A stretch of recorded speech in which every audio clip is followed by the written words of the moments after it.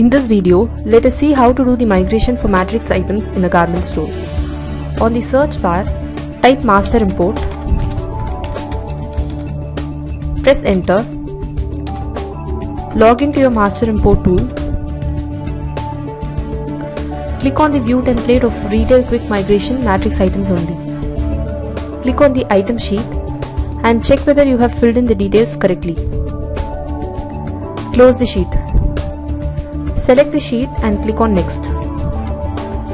Select the item master and click next. To migrate the items without stock, select RAID details without stock.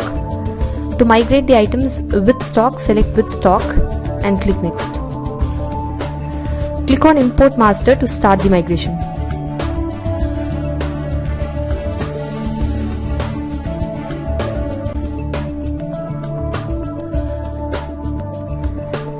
The migration is completed successfully. Close the log.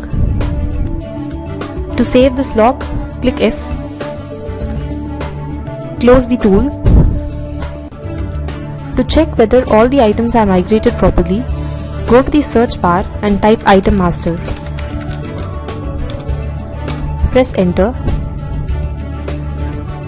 Press F4 and see if all the items are migrated.